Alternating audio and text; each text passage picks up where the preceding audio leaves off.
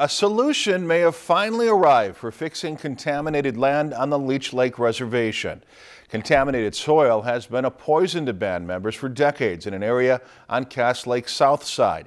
And in a Saturday meeting, the Environmental Protection Agency detailed how a new plan could end the issue. Jackson Bruner has the latest for us tonight.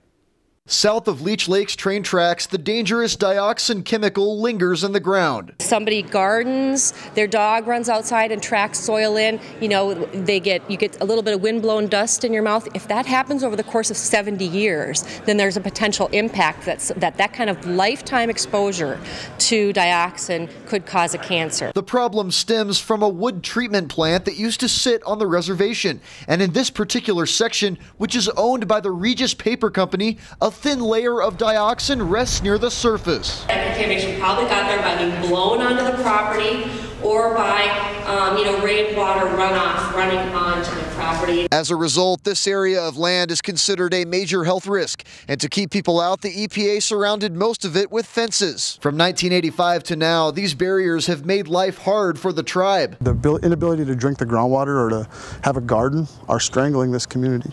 And as a lifelong resident of Cass Lake, that is that's a big issue. The EPA has been in charge of the project since 1995, and they've had several fix ideas since. In 2011, they wanted to put a thin layer of clean dirt over the contamination, which the tribe opposed. If you clean up a spot and then you just move that dirty spot over next to it, and it's still on the reservation, which again is you know, it, there's there's an end to it. it. Means that there isn't any more reservations. So you're not really doing much by just moving the contamination from one spot to another on the reservation still. Today, the plan is for a full excavation, which would remove the contaminated dirt and place it deeper underground on reservation land, but away from people's yards. It's not on everybody's property. It's not a problem for everybody. It just needs to be managed, which can safely be done at depth on responsible party property. It's a step in the right direction. The tribe says, but their standards ask for more. They say the EPA's alternative, a landfill in Buffalo, Minnesota, would be a better place to put the soil. We are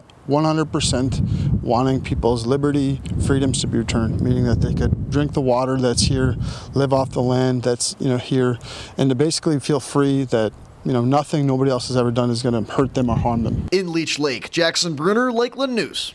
The EPA says an official timeline would allow excavation to actually start several years from now.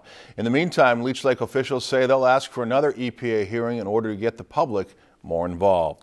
If you've enjoyed this segment of Lakeland News, please consider making a tax-deductible contribution to Lakeland Public Television.